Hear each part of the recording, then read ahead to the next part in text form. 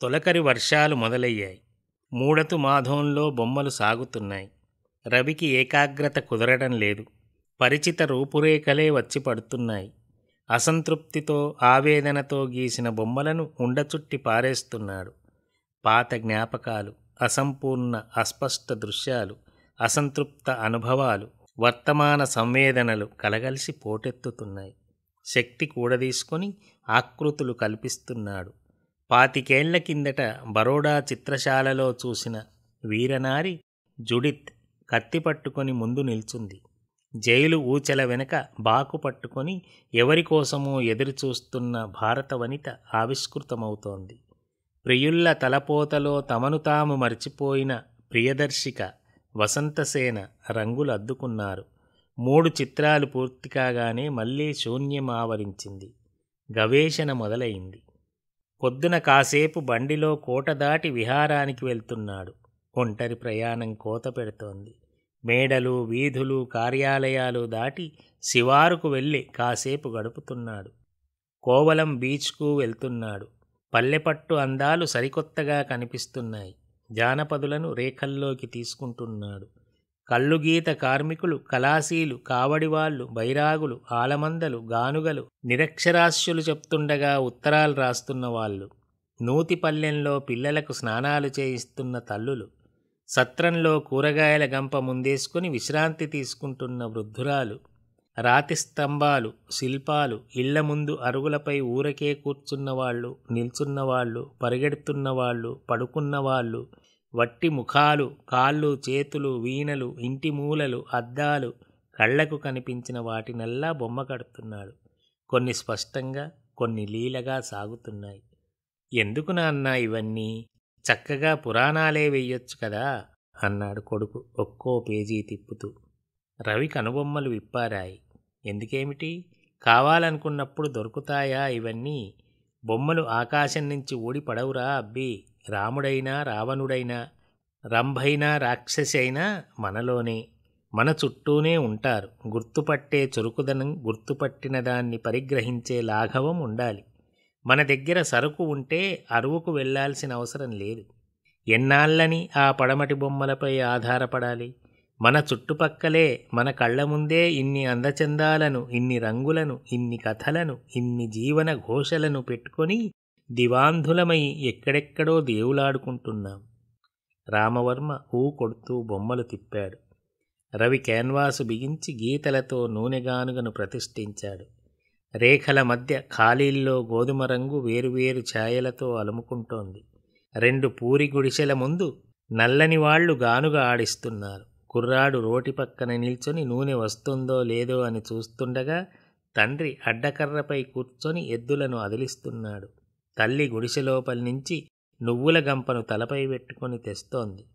తండ్రి కొడుకుల గావంచాలు తల్లి చీర అడ్డకర్రను రోకలి కర్రతో కలిపే కర్రపైని తుండుగుడ్డలు అశక్త ధవళంతో బావురుమంటున్న మునిమాపులో లీలగా పొడగడుతున్నాయి.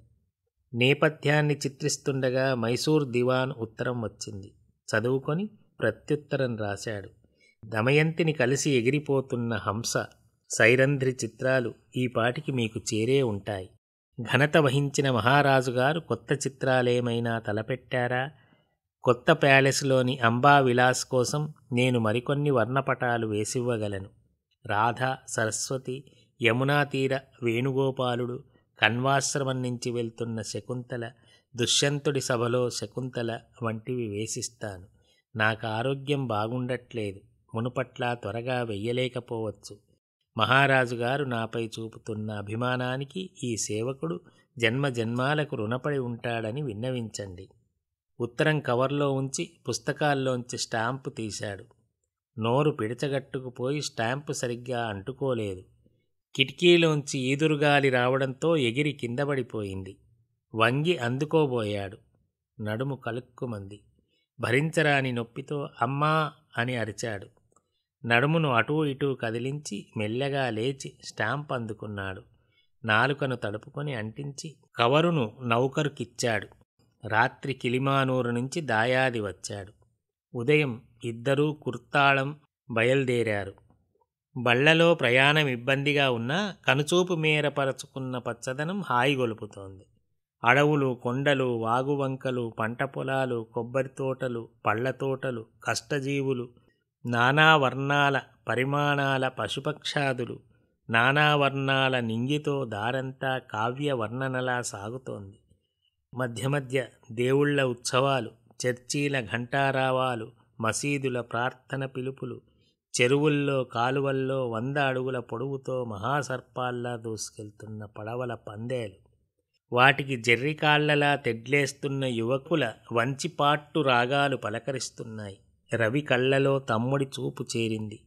ప్రాకృతిక వస్త్రంపై త్రిసంధ్యల్లో పంచభూతాలు సృజించే నిత్య నూతన వర్ణచిత్రాలను అబ్బురంగా చూస్తూ సాగుతున్నాడు.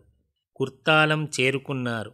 పాలకుండకు చిల్లులు పడ్డట్టు కొండపై నుంచి జలధారలు వేగంగా దూకుతున్నాయి. రవి కేరళవర్మ జలపాతంలో స్నానం చేసి త్రికూటాచలపతిని దర్శించుకున్నారు. కాసేపు విశ్రాంతి తీసుకొని ఉత్తరంగా మూడు మైళ్ళ దూరంలో ఉన్న ఇలంజీ గ్రామం చేరుకున్నారు. రవికి ఇరవై ఏళ్ళ కిందట ఆ పల్లెలో తమ్ముడితో ఇలయరాస నేందల్ జమీందారుతో కలిసి బస చేసిన రోజులు మదిలో మెదిలాయి. ఊరు మారిపోయింది. క్రాపులు లాల్చీ పైజామాలు కనిపించాయి.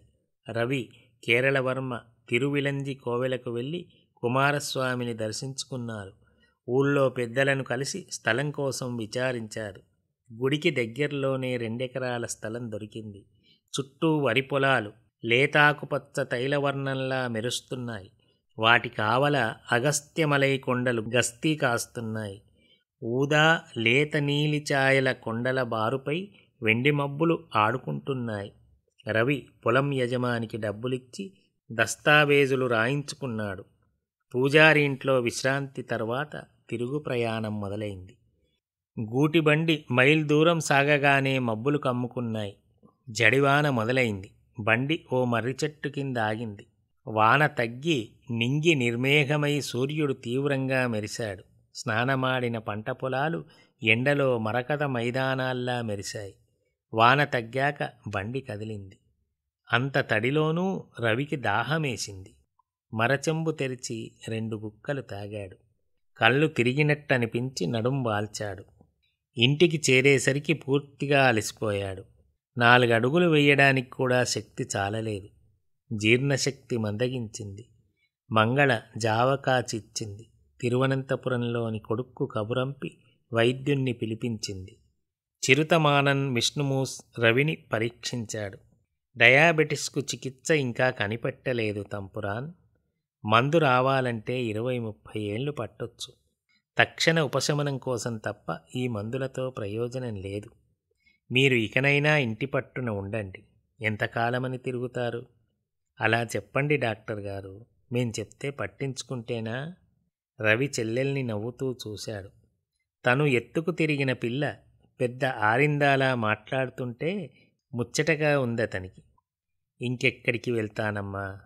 చూడాల్సినవన్నీ చూశా కదా. శృంగేరి పీఠమొక్కటి మిగిలిపోయింది. అదొక్కటి చూశాక ఇలంజీ వెళ్ళిపోతాను.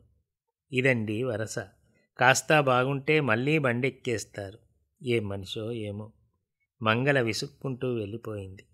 రెండు రోజులు కూడా గడవకముందే రవి మళ్ళీ స్టూడియోలో కనిపించాడు.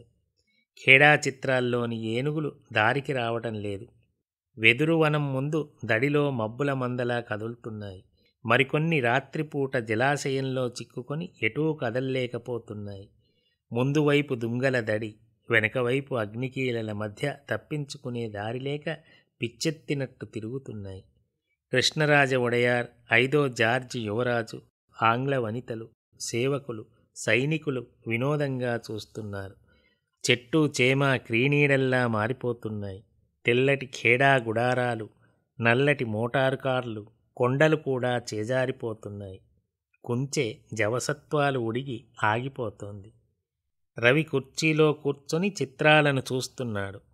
తల పంకిస్తున్నాడు. అవకరాల బిడ్డను కన్నతల్లిలా మౌనవేదనతో చూస్తున్నాడు. అవి తనవేనా అని అనిపిస్తోంది. తమ్ముడు వెయ్యాల్సిన నైసర్గిక చిత్రాలను తనెందుకు వేసినట్టు? కోట్ల మంది మెచ్చిన చిత్తరువులు వేసిన చేతులకు ఇప్పుడీ వైకల్యమేమిటి? తన కథ ముగిసిందా? బల్లపైన కంచు చేతద్దం కనిపించింది. అందుకొని ముఖం చూసుకున్నాడు. జుట్టు గడ్డం పూర్తిగా తెల్లబడ్డాయి. కళ్ళు గుంటలు పడ్డాయి. పల్చని పెదాలు మరింత పల్చబడి కిందికి జారాయి. తల విదిల్చుకొని లేచాడు. కొత్త మేడ నుంచి లీలగా వీణానాదం వినిపిస్తోంది. స్కెచ్ పుస్తకాలు తిప్పి అరుగుపై కూర్చొని వీణ వాయిస్తున్న కాదంబరిని చూశాడు. కొత్త క్యాన్వాస్పై మట్టి రంగుతో ప్రాథమిక వర్ణచాలనం ప్రారంభించాడు. వేళ్ళు ముంజేతి కండరాలు నొప్పితో జివ్వుమంటున్నా పట్టించుకోవటం లేదు. చెయ్యిని అటూ ఇటూ విసిరి మళ్ళీ కొనసాగిస్తున్నాడు. పొద్దు ఊకింది. స్టూడియో తలుపు మూసి ఇంటికెళ్ళాడు. వాకిట్లో మేనల్లుడు రవివర్మ పనివాడిని కూకలేస్తున్నాడు. పనివాడు భయపడుతూ కింద పడిన పచ్చి కొబ్బరికాయలు ఏరుతున్నాడు. తిన్నదంతా ఎక్కడ పెడుతున్నావు? అవి పూజకాయలు. ఆ మాత్రం గంపను మొయ్యలేవా? నీకు కొవ్వెక్కిందిరా. మేనల్లుడు తిట్లకు లంకించుకున్నాడు. పనివాడు గంప పొరపాటున జారిందని చెప్తున్నా వినిపించుకోవటం లేదు. రవి అల్లుడికి అడ్డుగా వెళ్ళాడు. ఏమిట్రా ఆ మాటలు? పొరపాటున పడిపోయిందని చెప్తున్నాడుగా? ఆ మాత్రానికి అంతలా తిట్టాలా? వాడు మనిషేగా? నీకంటే పెద్దవాడును. రవి పనివాణ్ణి సముదాయించాడు. కిందపడిన కాయలను ఇంటికి పట్టుకెళ్ళమని చెప్పి లోనికి వెళ్ళాడు. రాత్రి భోజనం తర్వాత కాసేపు ముంగిట్లో పచార్లు చేశాడు. దివాణంలో అక్కడక్కడా గుడ్డి దీపాలు వెలుగుతున్నాయి. ఆకాశంలో చుక్కలు పున్నమి కాంతిపై అసూయతో మూతులు తిప్పి మినుకుమినుకుమంటున్నాయి. చల్లగాలితో పండుటాకులు ఏవో కబుర్లు చెబుతూ గలగలలాడుతున్నాయి. దూరంగా కీచురాళ్ళు ఏవేవో శ్రమలతో అలసిపోయి చిన్నగా రొదపెడుతున్నాయి రవి ఆత్మిక ప్రపంచంలో గందరగోళం సాగుతోంది. ఏవేవో ఊహలు అల్లుకుంటూ అల్లుకుంటూ పుటుక్కున తెగిపోతున్నాయి. అపరిచిత రూపురేఖలు రంగులు గింగుర్లు పోతూ కెరటాల్లా ఎగిసిపడి పతనమవుతున్నాయి. హృదయలయలా కొట్టుకుంటున్న స్మృతుల దొంతరలు మెల్లగా విచ్ఛిన్నమవుతూ రూపరహితంగా మారిపోతున్నాయి. వచ్చి పడుకోండి అన్నయ్య చల్లగాలి వీస్తోంది. వర్షం పడుతుందేమో చెల్లెలు వాకిట్లోంచి పిలుస్తోంది. అలాగేనమ్మా కాస్త అమృతాంజనం తెచ్చిపెట్టవు చెయ్యి నొప్పిగా ఉంది రాసుకొని నిద్రపోతాను. లేపనంతో దైహిక వేదన కాస్త తగ్గింది. తెగని ఆలోచనలతో మనసు అల్లకల్లోలమైంది. చిరంతన శాంతి కోసం మనోదేహాలు అల్లాడుతున్నాయి.